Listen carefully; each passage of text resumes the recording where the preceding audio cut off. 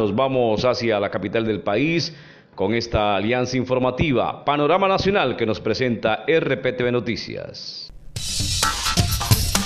A continuación los hechos más importantes de Colombia y el mundo desde la sala de redacción de la agencia de noticias RPTV.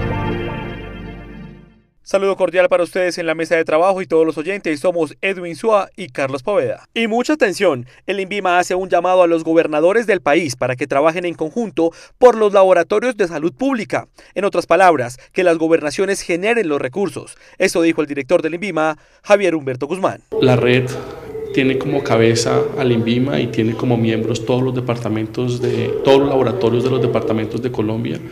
Es muy importante que cada gobierno departamental, así como el gobierno central, entiendan que los laboratorios de salud pública son una necesidad para garantizar la salud de los colombianos y por ende deben tener recursos adecuados, deben tener apoyo adecuado y debemos fortalecernos como un todo para que esos eh, laboratorios trabajen de la mejor manera.